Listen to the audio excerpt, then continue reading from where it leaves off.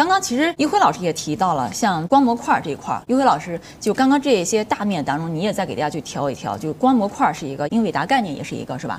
除了这两个，其他的你还看吗？不看了。对，其他就不看了啊。这个其实我们看一下今天的恒生科技指数啊，现在是下跌百分之二点三六啊，以及呢在港股上市的相应的科技个股啊，以及相应的一些大的这个平台吧，我看了一下，也是形成一个下跌，也就说明什么？目前这个市场啊，一定要知道，你不能靠热情啊。我认为现在而言的话，是靠热情以及。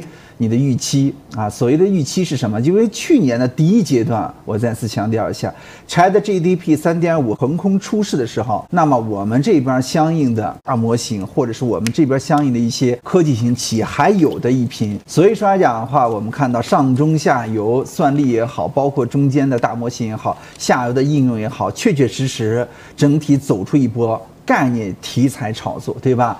但是在概念题材炒作之后，我们看到的是什么？整体市场走出一个震荡走低性的一个行情。而现在我并没有看到什么呢？就是像去年一样，这些所谓的大厂，这些所谓的做大模型的这些公司，开始要进入到什么纹身视频这块。皮卡一点零已经出来之后，就没有出现所谓的我们这边的纹身视频的一些模板也好，或者说是这些呃进步也好。但是现在 Sora 整体出来之后，你现在仅仅是一个概念性的炒作，那这种概念性的炒作，它的持续的时间会更短。这个概念业不业绩没有大的关系。当时去年那一波上半那一波，我想知我想说的是什么？去年那一波我刚才说的很清楚，我们这边还能给别人一拼，我们认为我们能跟得上。现在我们看一下这些大厂都熄火了，不再说追什么 OpenAI 了，就怕学霸人家说了，哎，我们现在还没有做的很完美，你人家不是说纹身。视频，人家把它定义为什么叫世界模拟器，一定要知道一下。就是我们现在还没有出现所谓的爆款，当时我们相应的文心一点零好，刚刚出来之后还说要比拼，现在说文心一言四点零，也就是三点五的水平。那好了，现在而言的话，你说要炒这个骚扰这个概念能持续多长时间？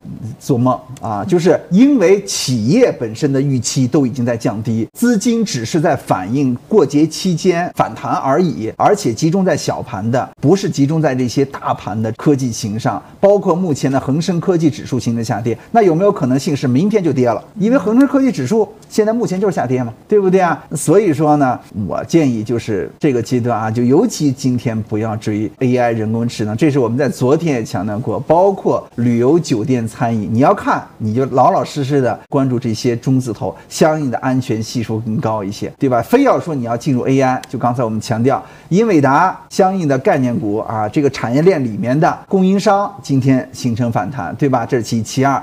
就是 CPU 光模块这块，你完全可以关注，对不对？但是说什么时候能够连续上涨，咱们也要看人家的订单。因为就像我们一直在强调一点是什么，人家都已经爬上山了，我们这边气喘吁吁，终于爬上山了。好了，人家又闲庭信步的又继续往上爬。你的竞争对手不会等着你来超越人家的，人家也会在同样的时间会造更高一个台阶。所以说，我们把这个概念性的炒作今天涨起来了，好了，那你其实。应该考虑的是减，而不是在这个位置考虑进场的这个时间，要考虑清楚。这个和题材不题材没关系，这个和预期有关系。什么预期？刚才我说了两点，第一个，企业家包括我们这边的科技型公司，我没有看到他们现在开始追这个所谓的纹身视频，没有。这个和之前的 Chat GDP 三点五不一个概念，这其其二。从今天我看到恒生科技指数现在也是一个弱势震荡下行，以及从整体的这些大厂上也是一个弱势，那其实我是怀疑的。所以说吧，也别从这儿挖金子了啊！挖金子，咱们要考虑市场本身它有板块轮动，有几个逻辑。第一个逻辑什么？超跌反弹逻辑。我确定这个位置二六三五点，往往就是一个超跌反弹，是由国家队整体进场政策整体形成一个很明显的。这种政策的预期、政策直接的介入所带来的什么反弹，这是其一。其二，必须得出现龙头的持续性上涨，龙头板块有没有龙头板块？目前看好像是 AI 人工智能，对吧？这是第二个阶段。第三个阶段是什么？这些前期先涨的，比如说强势股，它要出现补跌。什么是强势股？比如说煤炭、电力、石油石化板块，如果出现补跌之后，其他的才会出现所谓的一经落万物生，然后其他的板块才是跟进，然后再切换到什么大。金融也好，大科技也好，大消费也好，然后这些题材开始上线。今天明显出现这样的分化，那你怎么咱们怎么能说这个位置开始连续大涨，这个位置牛市来临？我不这么认为啊。所以说我现在暂时定义啊，TMT 人工智能只能算是一个一日游行情啊，咱们明天再看，是这样。